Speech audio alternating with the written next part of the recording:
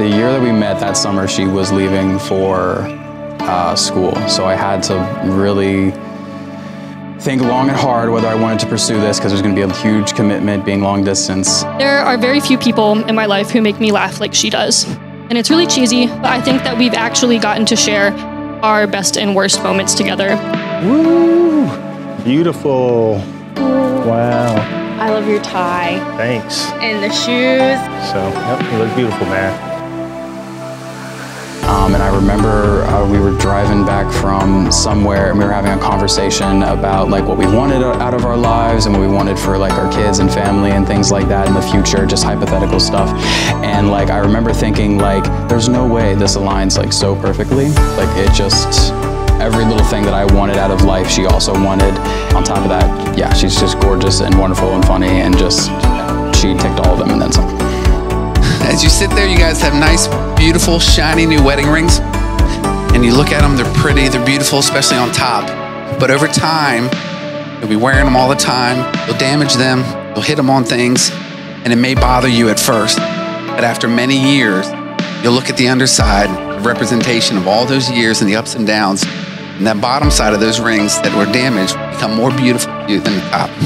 She has been there for me when I've been sobbing in the kitchen after school some days, and she was there for me at graduation and both of my recitals, and it's just really fabulous to have her around.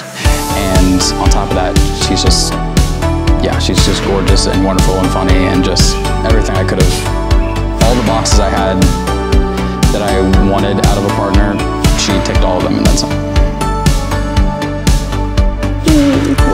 Aw,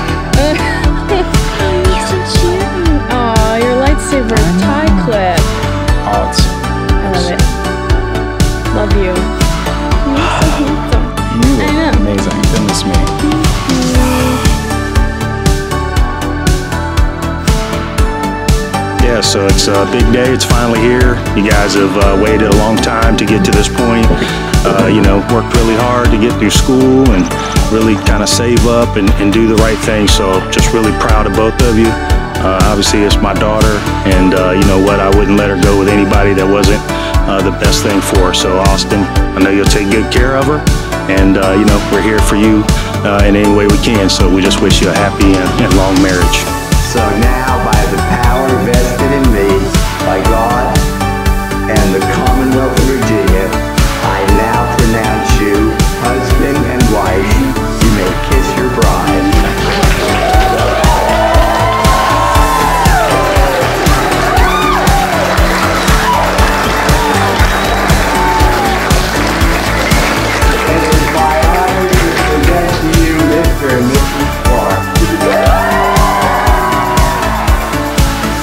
It's, you and me and the Lord. And we got this. As long as we keep Him center in our life, nothing's going to stop us and we'll be okay.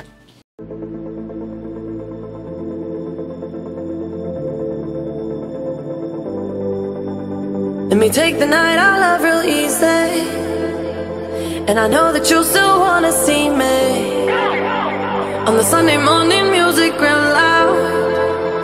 Let me love you while the moon is still out.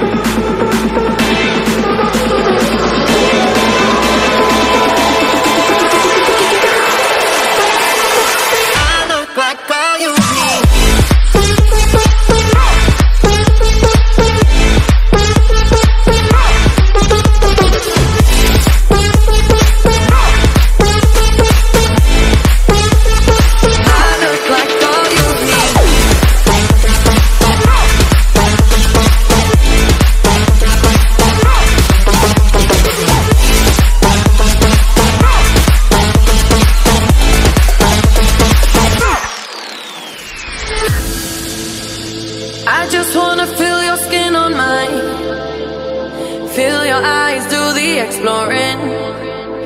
Passion in the